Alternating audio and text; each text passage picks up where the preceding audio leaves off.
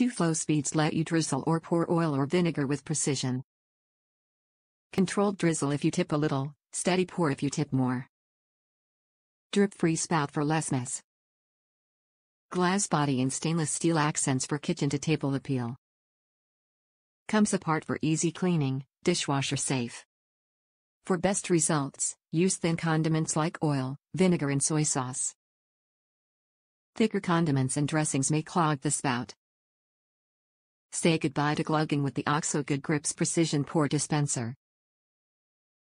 With a spout specially designed with two flow speeds, a controlled drizzle when you tip a little, and a steady stream when you tip more, you'll always get the right amount of oil. The spout is also designed to be drip-free, keeping your countertop clean as you put the bottle back down and continue cooking. The glass body and stainless steel accents make this kitchen companion table ready and the dispenser can also be used for vinegar and soy sauce. The lid comes apart for easy cleaning, and all parts are BPA free and dishwasher safe.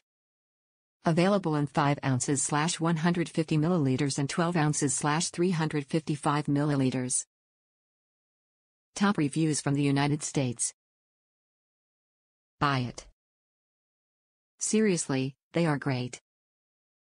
This is the most boring thing I have ever been so excited about. This is a solution to a problem I didn't really know I had. Before this, I would inevitably get a little dribble of oil running down the bottle after I used it. Bottle eventually gets a little oily film on it. You probably know what I'm talking about if you're looking at these.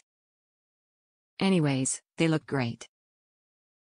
I keep them right next to my stove and primarily use them while cooking olive oil in one and vegetable oil in the other.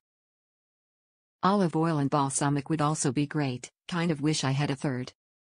They really don't dribble and get oil everywhere, and the pour control is fantastic.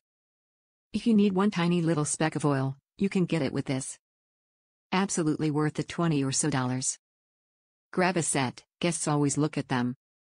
I swear you'd think I'm getting commission with how many people I have recommended them to.